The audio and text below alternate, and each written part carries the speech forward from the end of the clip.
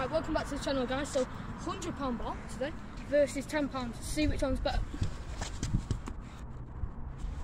Right, so we're starting off with a £10 ball passing.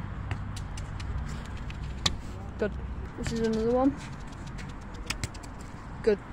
Alright, so Finn's going to pass the ball now.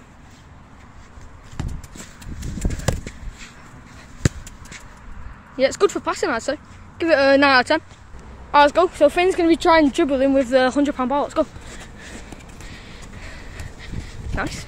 Can you get a shot? Oh, unlucky. That's thousand. What would you rate out of 10, Finn? 9 out of 10. Alright, let's go.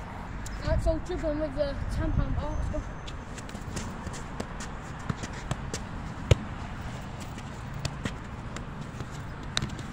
Get the shot. Give it a 7 out of 10.